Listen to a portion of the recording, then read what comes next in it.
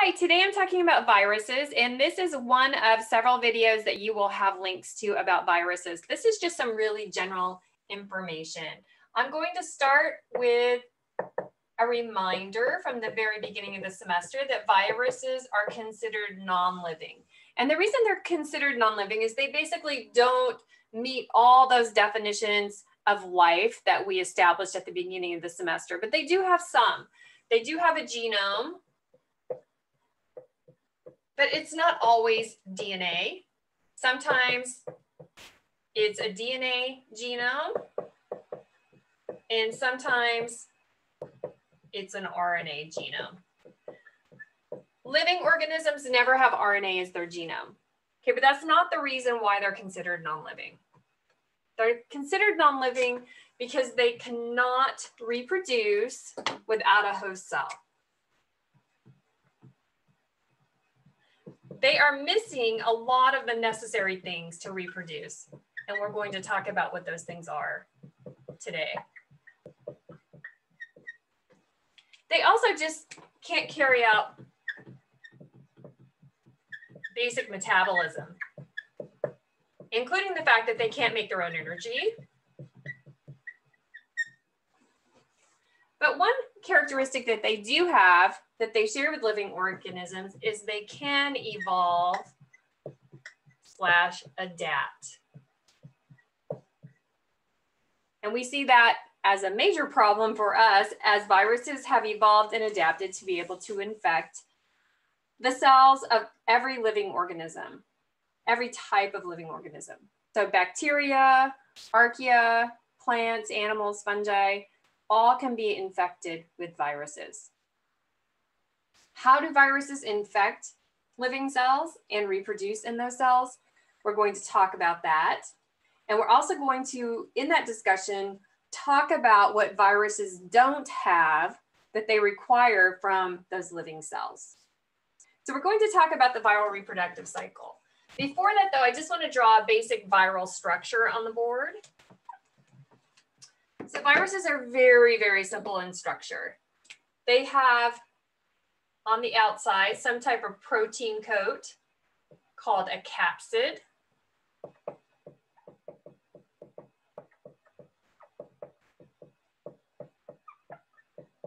And inside that capsid is the viral genome.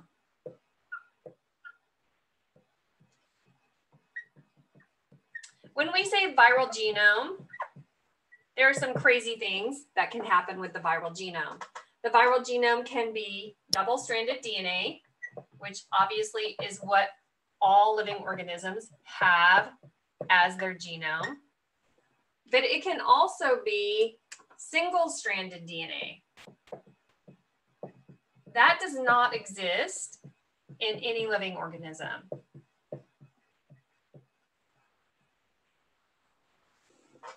It can be double-stranded RNA. Double-stranded RNA does not exist in any living organism. Plus living organisms don't have RNA as their genome. Sorry about the glare on the board right now. They can also have single-stranded RNA. Okay, single-stranded RNA is the normal form of RNA, but no living organism has RNA as a genome. So viruses have some pretty crazy genomes. They can also have circular genome, similar to what bacteria have. They can have a linear genome. There are some crazy possibilities there. And then some viruses on the outside of this capsid have a viral envelope. And that viral envelope is going to have some proteins associated with it. And oftentimes that viral envelope is actually made from host cell membrane. So in green, we have the viral envelope and some important proteins associated with that envelope. Also on the inside of the virus, there are some key enzymes, three in particular that you're going to learn about today. So I'm going to draw just some proteins here. This is pretend protein shape. These are the viral enzymes. And I'll talk about what those viral enzymes are as we go through the viral reproduction cycle. Again, I apologize. This is double-stranded RNA and single-stranded RNA. I don't know how to get light on the board and not have a reflection on the board. I'm really sorry about that. Okay, so that's just a basic viral structure. Viruses do differ slightly in structure. The capsid can have all different kinds of shapes and um, the phages that infect bacterial cells have really crazy shapes. And I'll show you those in another video. Okay, let's talk about the basic reproduction of viruses. So this is going to be viral reproduction.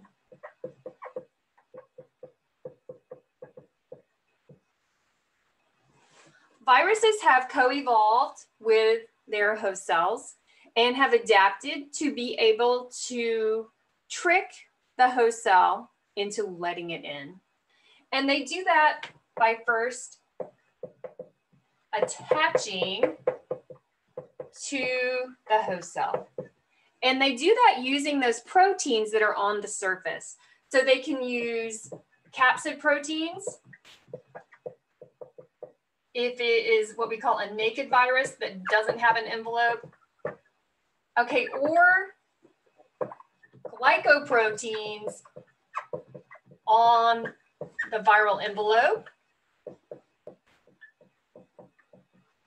And just by bad luck for the host cell and good luck for the virus, those proteins can perfectly fit into receptors on the host cell surface. So the glycoproteins or the proteins on the capsid fit into host cell receptors. Those host cell receptors are there for that host cell to do its cell job. It's kind of like having someone come up to your house and they just randomly have a key on their keychain that fits the lock on your door and now they can get in. Okay, even though they don't live in your house and you've never given them a copy of that key. That's what happens with these viruses. This is why viruses are very host specific and cell type specific.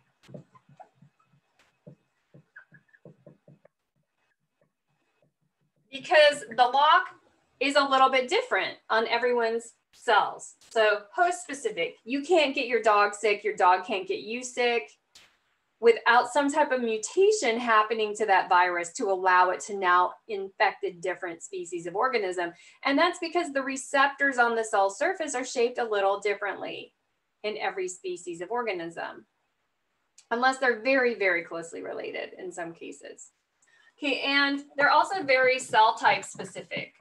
Different cell types have different types of receptors so they can do their cell job. So the cells of your intestine have different receptors than cells in your lungs, for example.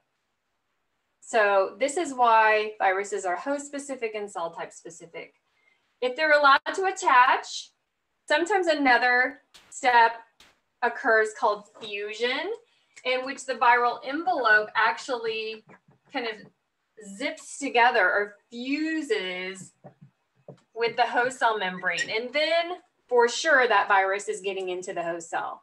Okay, HIV is an example of a virus in which the viral envelope fuses with the host cell membrane.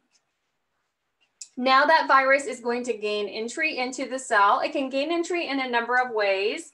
It can get entry through endocytosis or just based on the fact that it has connected to the receptor, it is allowed entry. It can inject just its genome and its enzymes, but either way, we have step two, which is viral entry.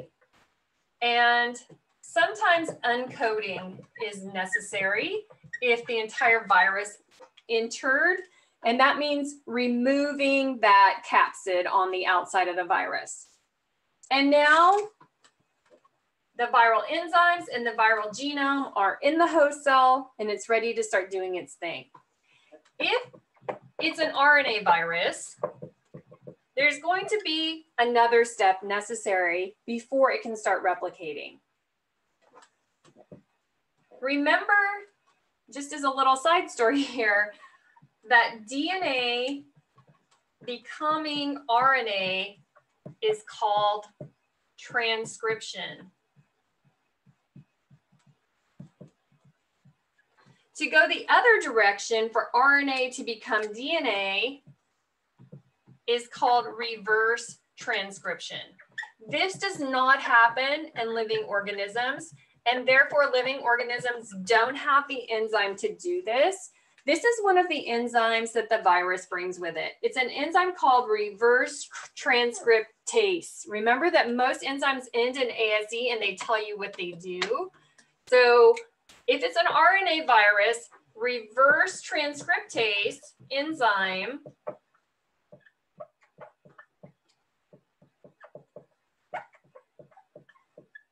is going to carry out reverse transcription. It's going to convert viral RNA to viral DNA. And now viral DNA is in the cell.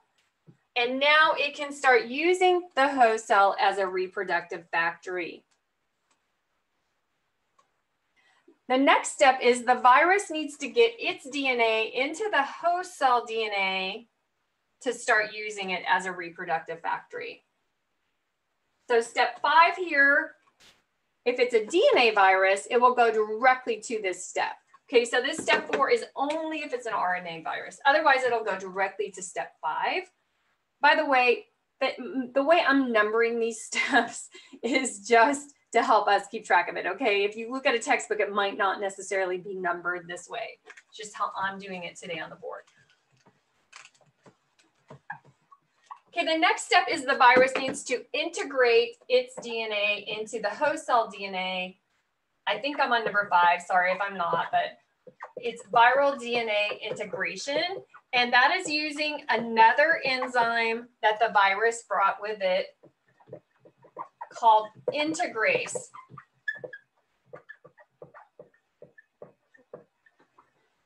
So now that viral DNA is in the host cell DNA. And when the host cell replicates its DNA, it's going to replicate the, vi the viral DNA. Why does the virus need to do this? It's because viruses do not have DNA polymerase. They need host cell DNA polymerase in order to copy their DNA, along with all of the other machinery that's used to replicate DNA. The virus is going to use the host cell machinery to do that. It's also going to use host cell RNA polymerase to make viral mRNA. And it's actually going to make one long piece of viral mRNA that represents all the viral genes. Because the goal of this virus is to reproduce as quickly as possible. It's not trying to just make one protein at a time. It's trying to make all of the viral proteins at the same time.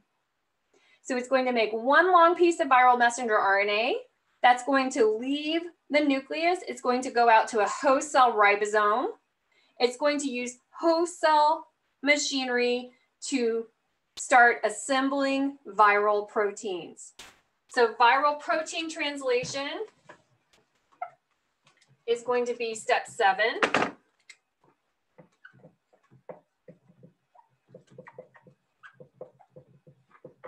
So it's going to use everything the host cell has for making proteins. It's going to use host cell ribosomes, which includes the host cell ribosomal RNA, um, host cell tRNA, host cell amino acids to make its proteins. And it's going to make one long polypeptide chain. Again, it's not trying to just make one protein, it's going to make one polypeptide that represents all of its proteins. That is going to have to get cut into functional units at some point. Now the virus can start assembling new virions. Virion is the term we use for viral particles. So number eight is going to be viral assembly.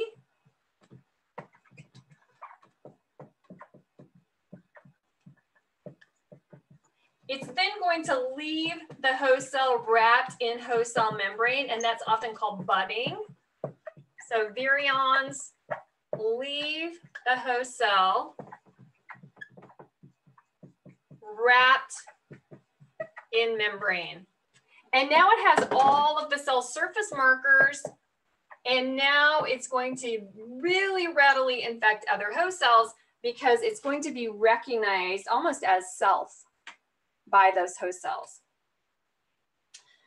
There's a, an important maturation stage that's involved, but also, you know, after budding and sometimes concurrent with budding, those proteins now get cleaved into functional units. They're going to have to get cut into the separate proteins and then they'll start to fold into their final configuration. And that's a step called protein cleavage. I'm just gonna leave that polypeptide up there again for a minute. Okay, so I'm gonna call this step 10. Protein cleavage. Inside that new virion, one last viral enzyme is going to be involved and it's called protease. Protease cuts the polypeptide into functional units, functional proteins, and they'll fold into the final configuration. So that's how a virus infects host cells. The next video will go into more detail about specific viruses.